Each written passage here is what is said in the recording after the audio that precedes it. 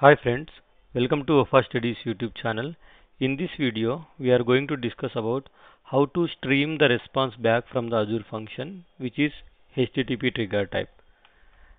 We already know that if you have created a HTTP trigger type uh, Azure function, it basically acts like an API. Okay, so API which will take a request, okay, which will take a request and it will give the response back. Okay, so let's assume this is an API it will take a request and it will give the response back. Now when it is returning a response back, I don't want to return the whole response. Maybe I want to stream the response back.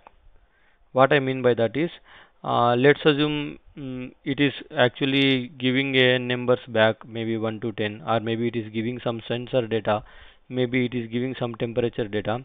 I don't want whole data to come at the same time. I want the data to get streamed and come in chunks okay one after another one after another. Is it possible to achieve that kind of a functionality the streaming response functionality in azure functions? Then the answer is yes. To do that basically we need to uh, use the http endpoints using fast api in azure functions okay? So there is something called http streams that will lets you accept and return the data uh, in chunks okay? And uh, that is how it is possible because of http endpoints uh, which uses the fast api if all this is making not sense at this point of moment if it is confusing don't worry about it. When we see a practical example you will get a more make you will make more sense. By default in azure functions this kind of a streaming response functionality will not be enabled. We need to enable that. So how to enable that? To do that Firstly, we need this package to be installed Azure Functions Extensions HTTP Fast API. This Fast API package, which is exclusively designed for Azure Functions, helps you to stream the data back or response back. And also you need to Python enable init indexing value. We have to set it to 1. So if you are running your function in locally, then in local settings.json file you have to put that value uh, if you are doing that in Azure that means after you host the Azure function then you have to do in the app settings. Let me practically show you that so that you will get a more sense of it uh, and uh, you, you can try that example. Uh, I will give the code as well in the video description. So what I will do now is I will try to open a Visual Studio and create a Azure function. So let me quickly do that. I have opened Visual Studio Code and you know that uh, if you have seen my create Azure function using Python video in Azure functions made easy playlist you already know that. Otherwise we will quickly follow the steps. Press F1 and select Azure functions create new project. And it will pop up the file explorer from the local. And let me navigate to certain location where I can create this project. So I am creating a new folder here. I will say maybe stream http az function. That is Azure function name I want to give. So I created a folder with that name and I am selecting that folder. So Python is the language which I want to select. So select that. And yeah of course Python. Then this time I have to maybe give the uh, trigger type HTTP trigger type. And uh, let me name this maybe the same thing stream HTTP Azure function. Okay so let me hit enter. Anonymous authentication is fine for me. Open in current window so this actually creates the uh, Python project for Azure functions in my local. You see that it will create a virtual environment as well. What is virtual environment? It's like a, a sandbox. It's like a, a, mini version of your system in which you can install the required packages for this particular project to run. If you don't know what is virtual environments in Python, please watch my Python playlist. Uh, you will you will find one video for the same, or you can search for any other video in YouTube as well. So now all good. Let me close this welcome tab and let me close this GitHub Copilot as well. Now here, if I go to function app.py, this is the actual uh, function app function file where the actual function will get written. I am going to change this whole code. So to do that, what I am going to do it is, see if I go back here, firstly I, I have to install this package as well. So let me copy this package and let me go back to my Visual Studio Code explorer requirements.txt and I am adding that package as well. So I am saving it now. Now what I will do I will open a terminal here. So let me open a terminal. And uh, I will see my terminal opened in a virtual environment by default. That is the reason you see this venv uh, now within this virtual environment I want to install that packages. So what I will do pip install hyphen r requirements.txt so when I run this command in the requirements.txt file whatever the packages we have uh, my Visual Studio Code will identify them and it will install them in the virtual environment. So let the installation complete here. As you can see the installation is completed. So now I will go to the explorer. I will go to the function underscore app.py file. Let me minimize that file explorer. And this is where I have to change the code. So what I will do I will go to my OneNote and I will try to import that. So I will try to copy paste this whole code but before doing that I need to do one more step which is I have to set these settings in my local settings.json file.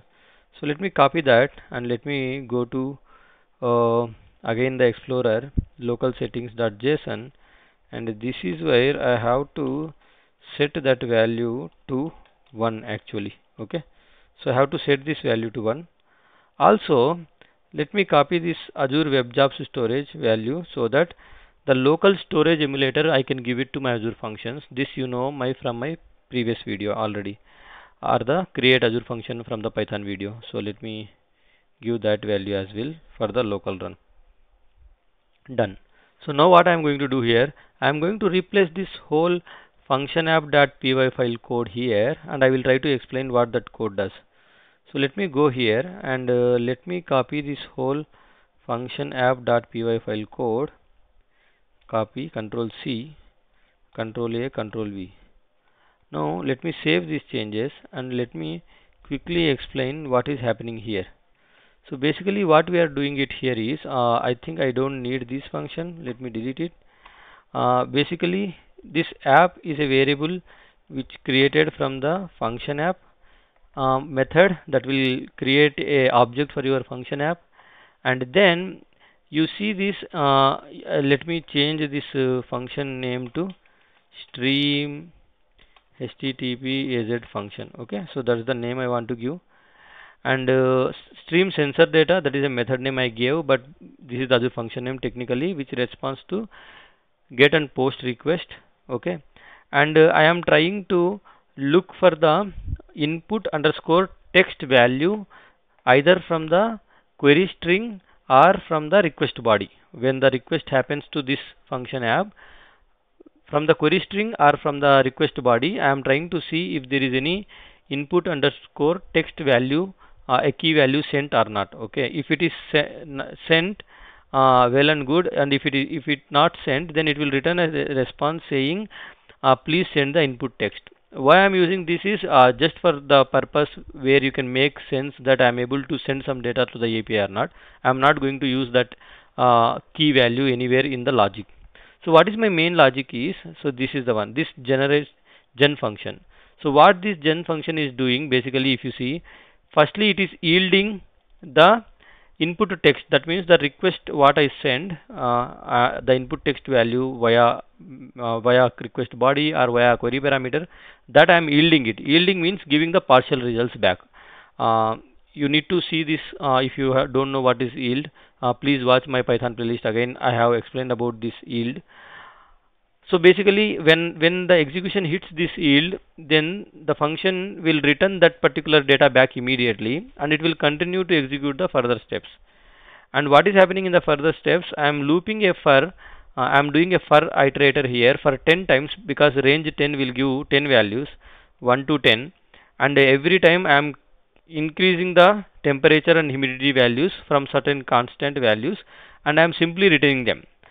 And whatever I am returning them inside that for loop I am yielding them for every iteration. That means uh, one iteration will happen it will return the data and again second iteration will happen again it will return. It's not like the whole data will get returned for all the 10 values every iteration it will return because of the yield keyword. So that is the uh, that is like a behavior of a streaming response. So now this function is capable enough to stream the data. I, I am making the function uh, function call to delay for one second for every every iteration so that I can sense the uh, gap between one line to another line. So this is looks fine.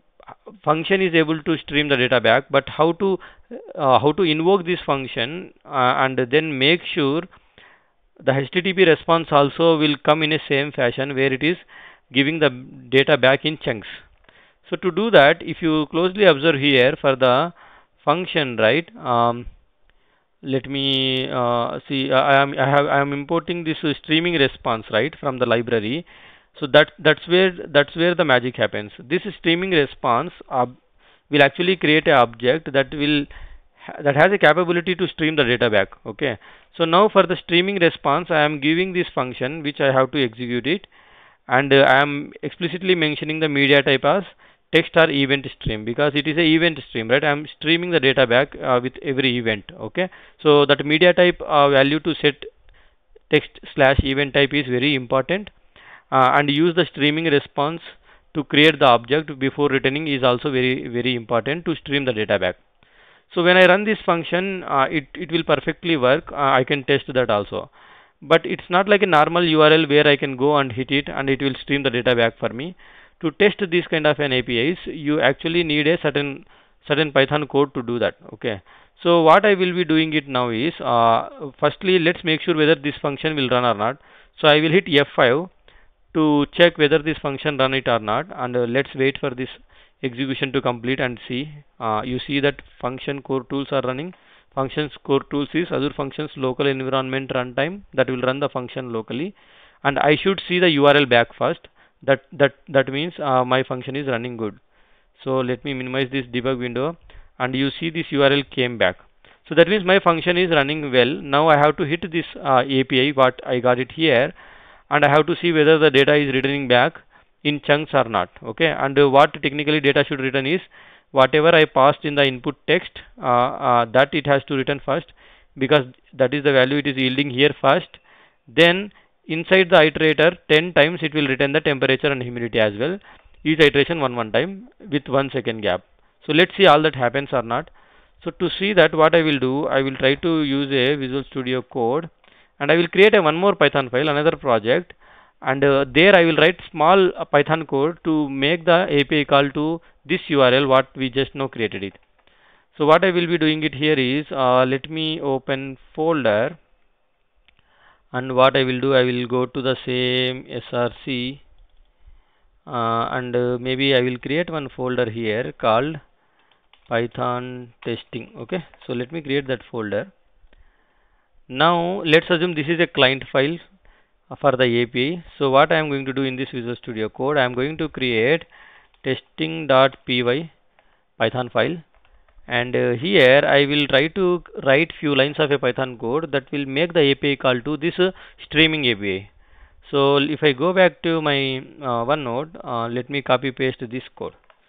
So Control C, Control V. Now if you observe this code, whenever you want to hit a API which streams the data back. Use this httpx library. Okay I have imported that. Then I am trying to use the asynchronous client uh, method on top of it to create a client object. Then with that client object I am trying to use the stream method to stream the data back. Okay? Uh, and whatever the data comes uh, it will comes in the response object and this response object will continuously return the uh, receives the data in chunks. And to read the chunks I am using this aiter_lines. So every chunk will be called like one line. So what I am doing using a asynchronous for line I am taking every chunk using the aiter_lines and printing that every line. Okay? So that means the all the temperature and humidity details 10 times it will print uh, and uh, it will run the whole execution as well. So let's practically see whether it will work or not so to run this code, uh, see first thing one change what I did it here is I have taken the URL of my Azure local execution function and I am using a query parameter input string and sending some value to it. If I don't use the query parameter as I said it will return us back saying pass that query parameter. So let me show you that. Uh, let me run this now. Now if I run it, it will say immediately function execution is successful but uh, pass the input text. That's what it is trying to say. So later uh, let's do control z here and let me save these changes. Now let's try to run this execution. Now this time you should show the data back. You see you see it is returning every line at a time. That means in the iterator of that function where the temperature and humidity is calculation every time it is yielding the data back as a streaming data. And that streamed data we are seeing back printing it here on the screen so API is not returning this whole data at a time. It is actually returning line by line. That means it, it is returning the chunks. So this kind of an functionality uh, many developers will face uh, in their day-to-day -day, uh, real-time implementations. So I felt that this video might be helpful for them how to create a Azure function that will stream the data back um, and how to how to write the client side of a code to consume that function where it is streaming the response back. Okay so I will give this sample code in the video description. Uh, so please take it from there. Uh, I hope you guys find this video helpful. Thank you for watching. Have a nice day